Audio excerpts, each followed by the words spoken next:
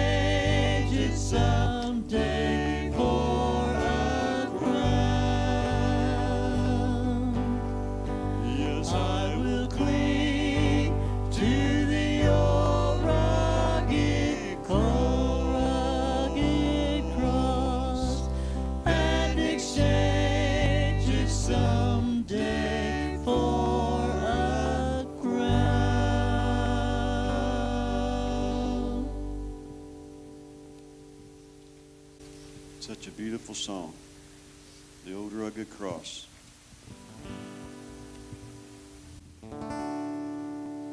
When the music fades, all is stripped away, and I simply come, longing just to bring some words of worth that will bless your heart. I'll bring you more than a song, for a song in itself is not what you have required. You search much deeper.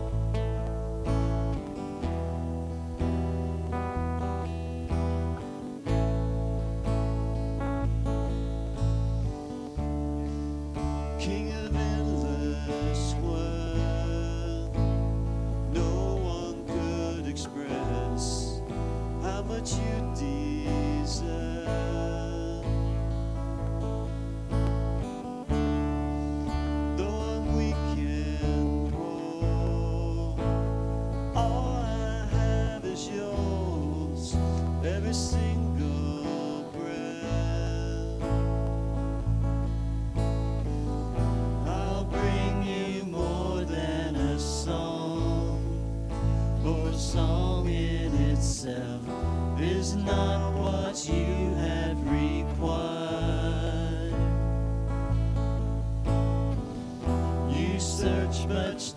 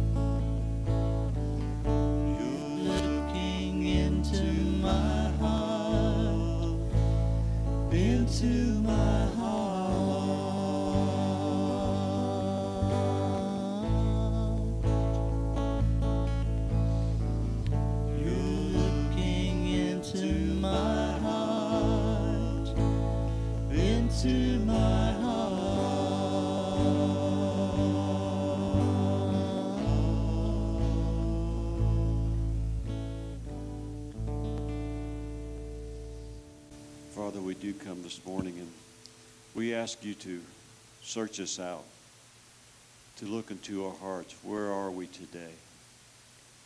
Are we looking to that old rugged cross? Are we kneeling down before it? Are we coming for your mercy and your forgiveness?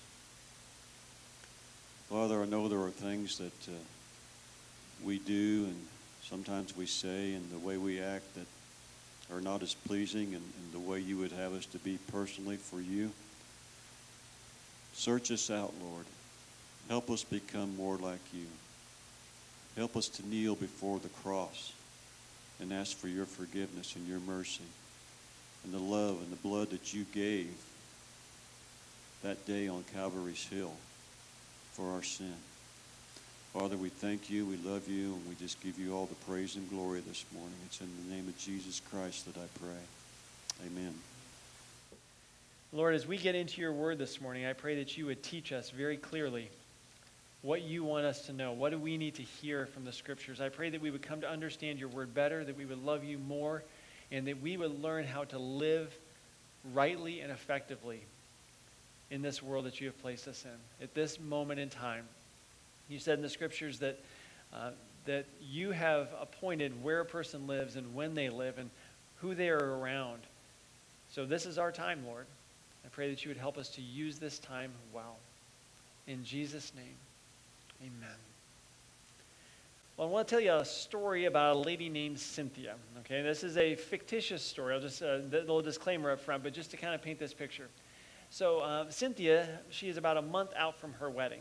And she is very, very excited about this. She and her fiance are excited to get married. And they are um, looking forward to that day. They've planned it all out. And she has a beautiful wedding dress that she's picked out. But she also realizes that she cannot put on any weight at all, or she is not going to fit into this wedding dress anymore. And so she is being very diligent with her diet, with her exercise. The problem is, is about two weeks before her wedding, is her best friend is getting married. And she knows that she is going to be going to this wedding reception, and there is going to be all this wonderful food. And so she is having to decide ahead of time okay, I know what they're eating, and I know that I need to stick with the salad, this small portion, and this minuscule slice of wedding cake. That is all that I, all that I can have. And so she has made this decision, and she heads into that day, and she's excited. I mean, she's, she's one of the bridesmaids, and uh, so she's uh, excited to be a part of this. And then she gets to the wedding reception, and she didn't realize this was not a buffet wedding reception, but this was the kind where they are going to set the food right in front of you. And because she's part of the wedding party, she's at the head table. And so she's like, oh my goodness, what am I going to do? You know, because the food's all going to be there, and they're not giving out little slices of wedding cake. They're giving out these full, big old slices of wedding cake. And so she is then faced with a choice. What am I going to do when this is presented before me? Because I've got a goal in mind. Two weeks from now, I've got to fit into that wedding dress. I've got to look good for my husband. I'm going to be in front of all these people. I have a goal.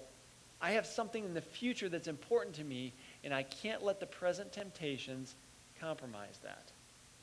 Okay, now that's, again, it's just a story that, that I made up, but to illustrate the principle that there are decisions that we face today that are going to have consequences in the future. And we have to have the conviction before we face the crisis. How are we going to handle it when the time comes? Cynthia knew, I'm heading into this, there's going to be temptations. So she had to make the decision ahead of time how she was going to handle those when she reached that point. What we're going to look at today is uh, the story in the book of Daniel. We're going to go to Daniel chapter 1. You can begin turning there in your Bibles. And this is, we're going to start into a series on the book of Daniel. We're going to probably do at least the first six chapters. I don't know if we'll get into the last bit of it. But the first part of the book of Daniel talks an awful lot about how do you live a godly life in the midst of an ungodly culture. And so this morning is not only going to be a message in and of itself, but it's kind of kind of set up what we're heading into over the coming weeks. He had this decision that he had to make too to stand strong in the face of compromise. So let's go to Daniel chapter 1. And I want to read you just the first couple verses which are going to sort of set this up for us. Daniel chapter 1, I'm going to read you verses 1 and 2. In the third year of the reign of Jehoiakim, king of Judah, Nebuchadnezzar, king of Babylon, came to Jerusalem and besieged it. The Lord gave Jehoiakim, into, uh, king of Judah, into his hand, along with some of the vessels of the house of God, and he brought them to the land of Shinar, to the house of his God, and he brought the vessels into the treasury of his God. Now, this is really kind of like a dateline for the story. Okay, just like when you look in a newspaper, there's a dateline that says, you know, who wrote it, where was this, you know, when did it happen, and that's what this is. This sets the context for what we are reading here in the book of Daniel. Now, I'm going to throw up here on the screen here a timeline for you. Then this is going to show a little bit, just an idea of what we're looking at. Now, the Israelites had been disobedient to the Lord, and he had said again and again, You are going to be disciplined for this. And he had predicted through Jeremiah that there would be a 70 year exile. Well, that came in part in 605 BC. And that is when the characters we're going to see today uh, were taken captive. All right? And so that's, that's what we're reading about right now. Now, last week we did Jeremiah chapter 29. You can see where his letter falls in this. This is after that first deportation um, at the time of the third deportation. So there's three waves of time. Excuse me, not, the, yeah, the second, second deportation there. Um, so they, they came and took people away from Jerusalem at three different times. The people that we're going to see today, we're going to look at four of them. These are going to be our main characters through these first chapters of Daniel. These four guys were taken in that first siege of Babylon. Okay, so let's go ahead and uh, keep reading here, uh, verses 3 through 5. Then the king ordered Ashpenaz, the chief of his officials, to bring in some of the sons of Israel, including some of the royal family and of the nobles, youths in whom there was no defect, who were good looking, showing intelligence in every branch of wisdom, endowed with understanding and discerning knowledge, and who had ability for serving in the king's court and he ordered them to teach them the literature and the language of the Chaldeans, that's the Babylonians. The king appointed for them a daily ration from the king's choice food and from the wine which he drank, and appointed that they should be educated three years, at the end of which they were to enter into the king's personal service. Now, this is what you would call deprogramming. Deprogramming. They took these guys and they stripped them away from family, from home, from their their, what they had learned, even from their language. They had to learn a different language, how to read and write in, in the Babylonian language. And they basically said, You are going to become Babylonian. You are no longer going to be Hebrew. You are going to become just like us. But they also took something else from these guys, and this one is not necessarily quite as evident right up front. Um, if you saw in verse 3, it had the term officials there. Literally, that is the term eunuchs. So the chief of the eunuchs was ordered to take these guys. Now, a eunuch, in case you're not familiar with that term, is a, uh, a castrated male. Okay, a person who has been uh, surgically uh, modified so that they are not going to be a threat to the people that they are serving. A, a, threat to the women, a threat to the men, anything like that. So they have been, uh, they have suffered that. Now, it stands to reason that if it's the chief of the eunuchs that was told to take these guys, probably these guys were made eunuchs as well. So the people that we're going to be learning about today not only had their culture and their language and their home and their family taken, but probably their masculinity was taken as well. These guys suffered greatly. It was all an effort to say, You are nothing. We have conquered you, and you are a nobody. We tell you who you are, and you will do what we tell you to do. You are here strictly in order to serve our purposes. You're a nobody. You're a commodity to be used up and thrown away. Now, let's meet our main characters. Verse 6. Now, among them, from the sons of Judah, were Daniel, Hananiah, Mishael, and Azariah. Then the commander of the officials signed new names to them, and to Daniel he assigned the name Belteshazzar, to Hananiah, Shadrach, to Mishael, Meshach, and to Azariah, Abednego. Now, taking these names from them was not only stripping them of their identity, we're not even going to call you by your name. We're going to give you a new name to show that you're just a, you're a totally different person now. But they're also stripping their religion from them because each of these names is a reference to God. Daniel means God is my judge. Hananiah, Yahweh has acted graciously. Azariah means who is what God is. And Mishael, oh, excuse me, that was Mishael's name, I think. And Azariah's name is Yahweh has helped. So these guys' names even spoke of their religion, of their faith. And these Babylonian names that they give them were honoring the Babylonian gods. And so they have stripped everything from these guys. You change our, their, somebody's name, you change how they view themselves. You change other people's names, it changes how that person is viewed.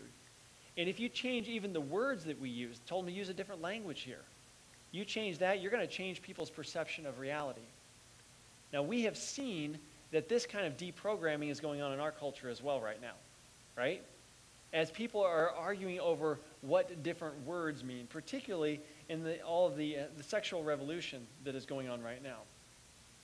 See, this deprogramming isn't, isn't just ancient, and this reprogramming isn't just something that happened in a far off land. It's happening here today.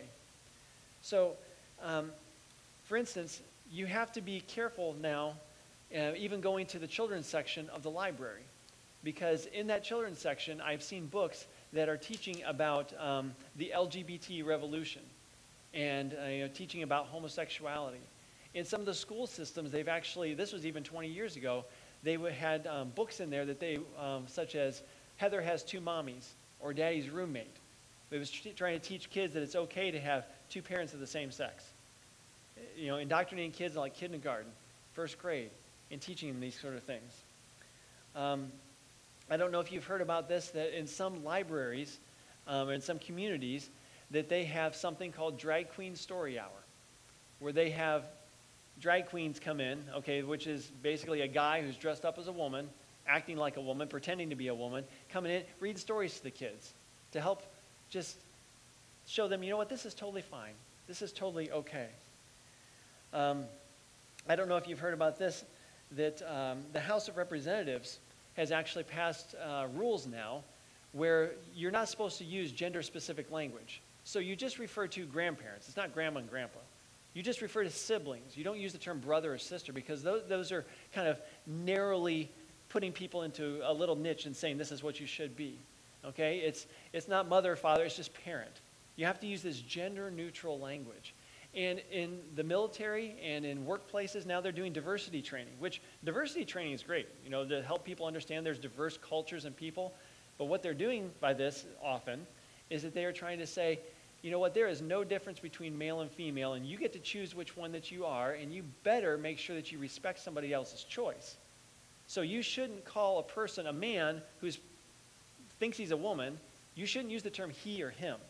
You got to be careful your pronouns, or you could get in trouble. Now, lest you think that this is something that's just kind of far out and uh, not really on our radar, I want to tell you about a guy.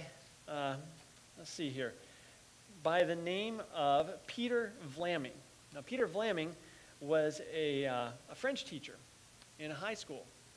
And in his class was a transgender student. And it says that, uh, let's see here, I'll just kind of read this to you a little bit. Virginia teacher has filed lawsuit saying he was wrongfully fired for refusing to use male pronouns for a transgender student. So it was a female student who identified as male, and he did not use that, that proper pronoun. Uh, French teacher Peter Vlaming said that he couldn't, in good conscience, comply, citing his religious beliefs, according to the complaint. He consistently used the student's preferred male name and attempted to avoid the use of pronouns at all, the lawsuit said. But as part of an exercise in the class, I don't know exactly what this was, uh, this student was supposed to walk, um, I guess, in a certain direction, and he said, uh, Don't let her hit the wall. And because he used the wrong pronoun, he got in trouble for it. Um, Mr. Vlaming's conscience and religious practices prohibit him from intentionally lying. This is what his lawyer said. And he sincerely believes that referring to a female student as male by using an objectively male pronoun is telling a lie, the lawsuit argues. But they fired him for insubordination. He lost his job because of the fact that he was holding to his religious convictions and trying to do so in a respectful way. And I could read on about this uh, more and more, but there's a lawsuit that was uh, going on as a result of this. In our culture right now, we are trying, we are being indoctrinated, deprogrammed and reprogrammed, so that we will not look at anything as a male to female distinction. That's, that's old, that's outdated, that's discriminatory. You're not allowed to do that anymore. So just so we understand that this is something that we face today, just the same way that Daniel did. Now his was uh, completely involuntary because he was taken as a slave. Now we still have free choice, you know, to be able to say, okay, we're going to go to this school, we're going to work in this location or not. He didn't even have um, that much of a choice. All of these things are efforts to deprogram us and to reprogram us. But Daniel makes a decision, and this is a decision to remain pure. All right? Let's look now at uh, verses 8 through 13. But Daniel made up his mind that he would not defile himself with the king's choice food or with the wine which he drank. So he sought permission from the commander of the officials that he might not defile himself.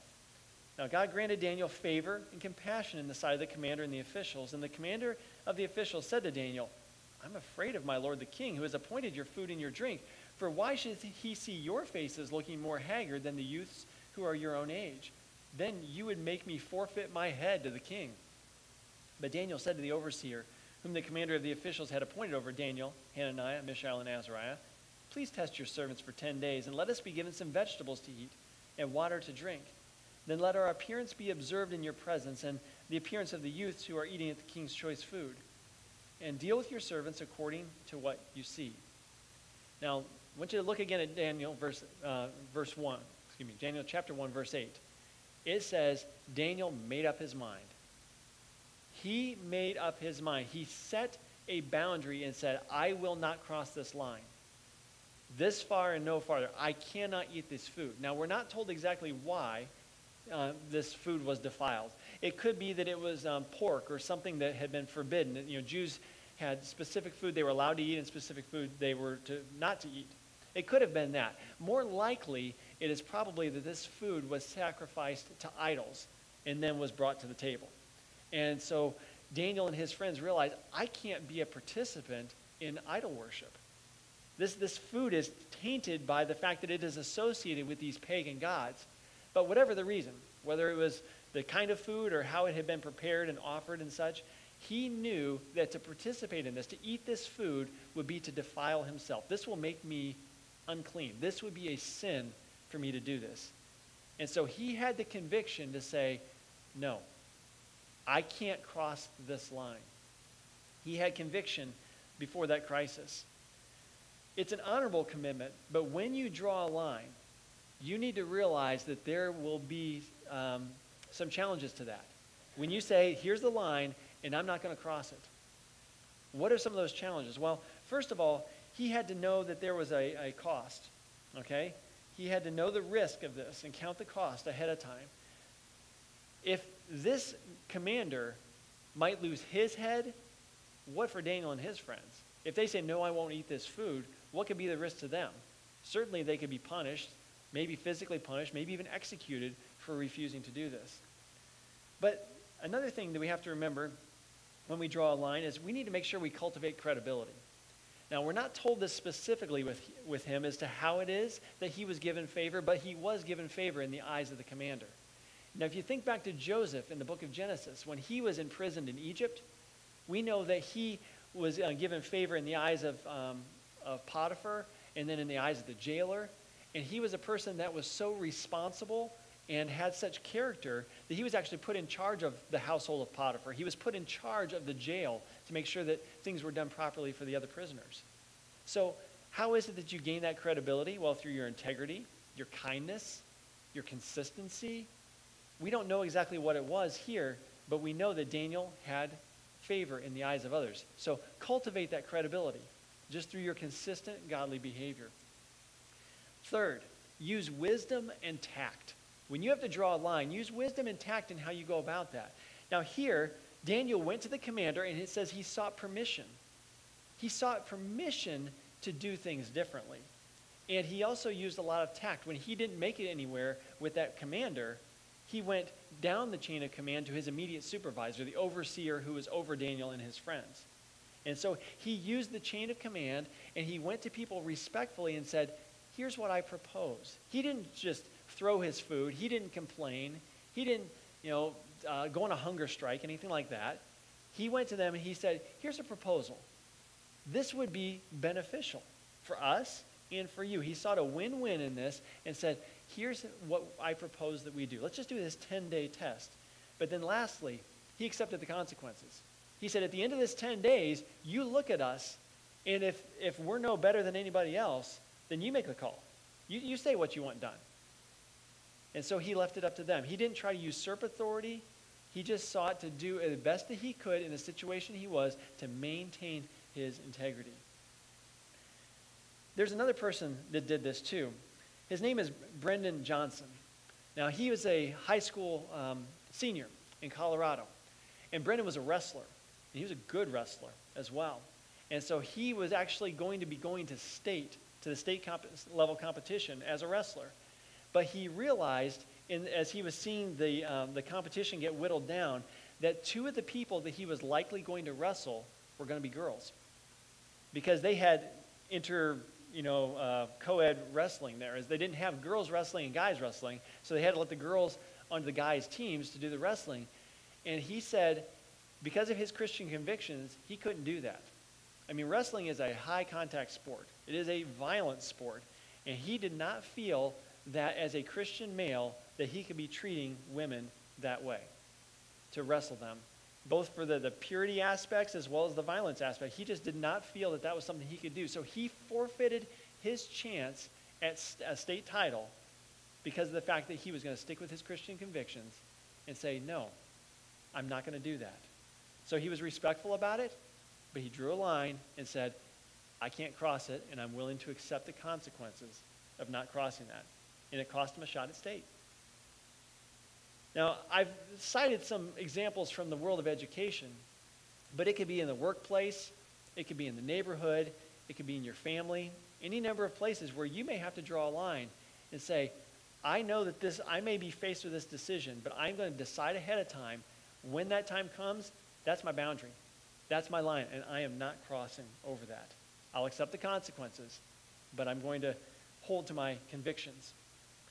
Decide ahead of time.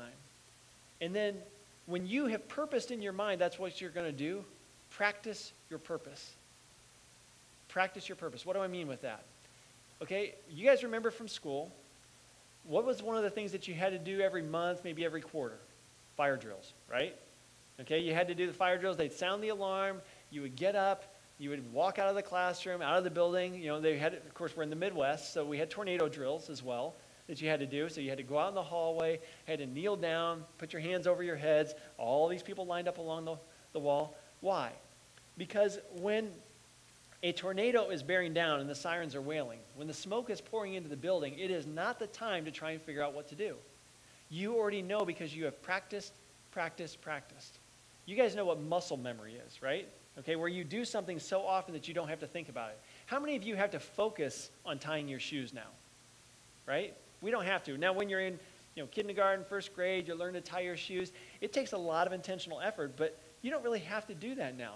You just naturally do it because your hands are so used to that. Same with riding a bike, driving a car. You don't have to put a lot of intentional effort into it because you've done it so much, your muscles are trained for it. When it comes to the uh, decisions of integrity that we need to make, we need to have that conviction ahead of time. This is what I purpose to do. And think through it. What am I going to do when a person offers me this? What am I going to do when I am challenged in this decision? What if the crowd is moving this way and I think I need to go that way? What am I going to do? Think through these situations. So basically, you're doing drills in your head. you know, like a fire drill, tornado drill. I'm going to do it over and over again till the reaction is immediate. Now, this could be decisions of purity regarding a man and a woman and what sort of interactions you will have with somebody of the opposite sex. This could be decisions, excuse me, I need to get a drink.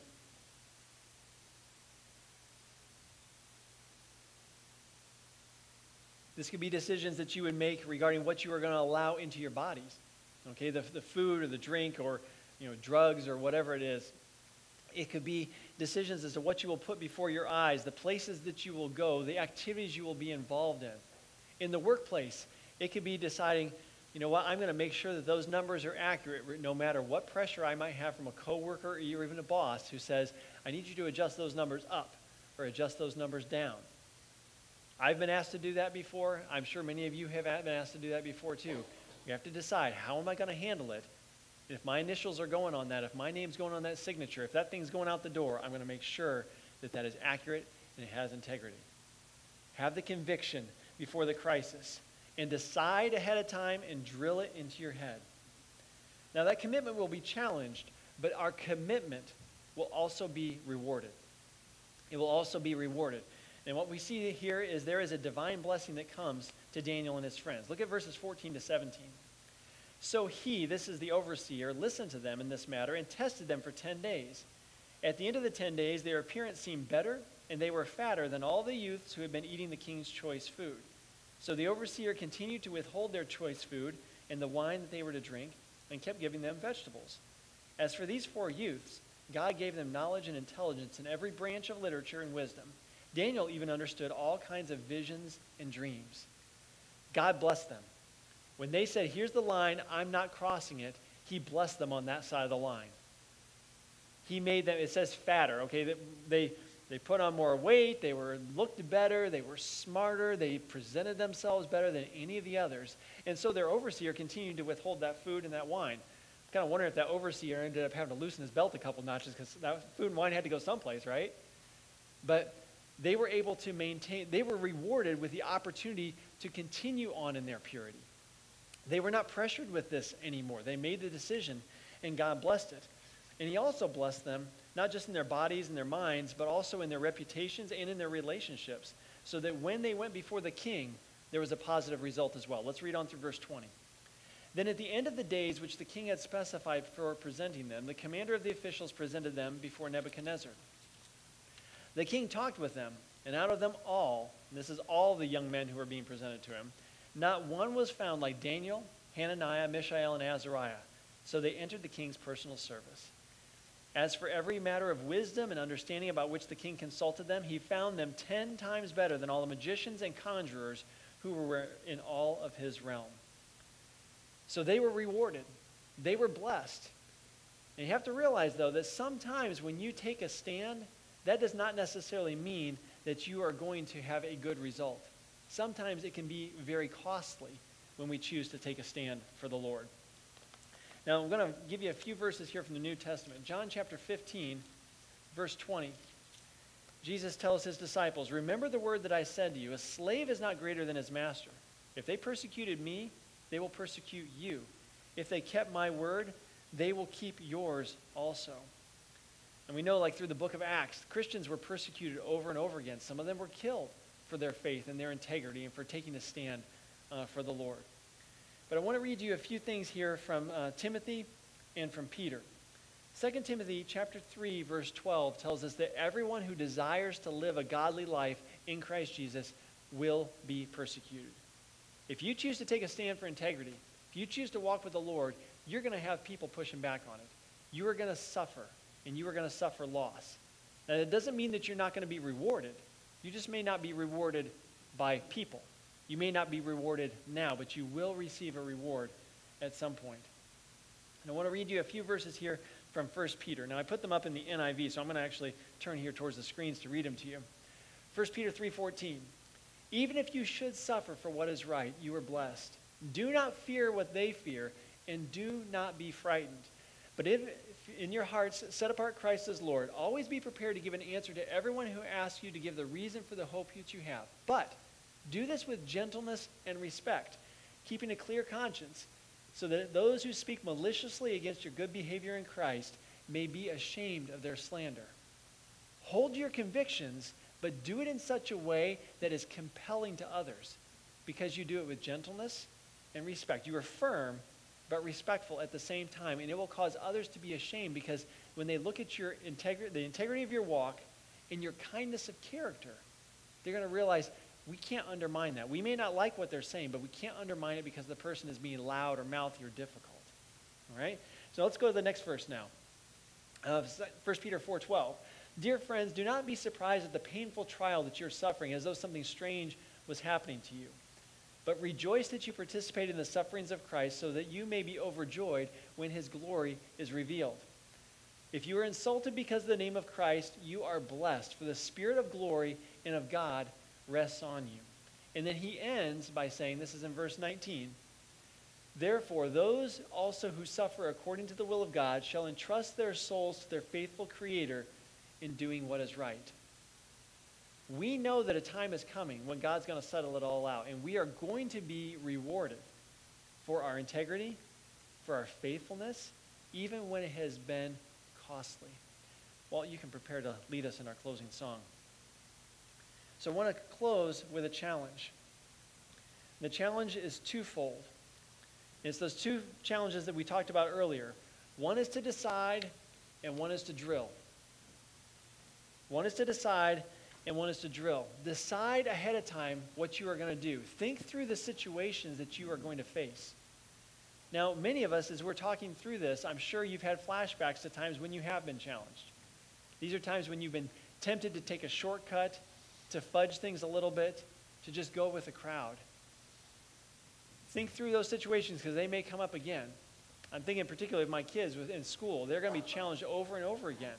Are you going to stand or are you going to compromise? Then, once you have made that decision, I am going to stand, drill, drill, drill. Think through what am I going to say when this person comes to me? When this situation is presented to me, how am I going to respond? So that way we are ready to walk before the Lord in integrity. So take this closing song as a time to make that first step. Not the drill step, but the decision step. And decide, Lord, I am going to stick with you no matter what. I'm going to draw that line, and I'm not going to.